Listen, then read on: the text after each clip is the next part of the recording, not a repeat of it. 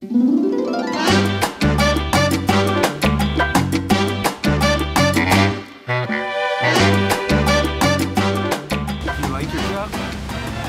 I like my job. That's the reason why I'm here.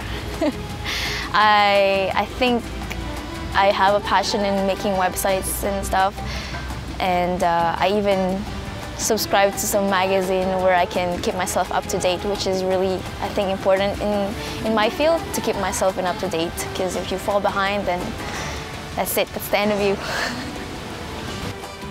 Jinkee is amazing. Um, she constantly, the output that comes out from the work she develops is amazing.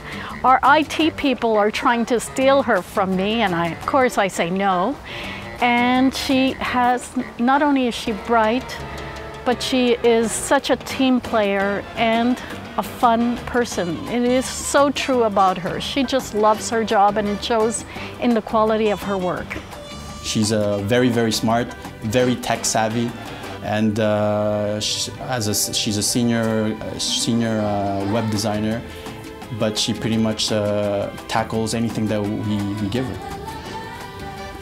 I believe that computer science does lead to a fun career. I think a very good example of that is Jinkee. Uh, she's fun, she's dynamic, uh, but at the same time, she's very, very professional.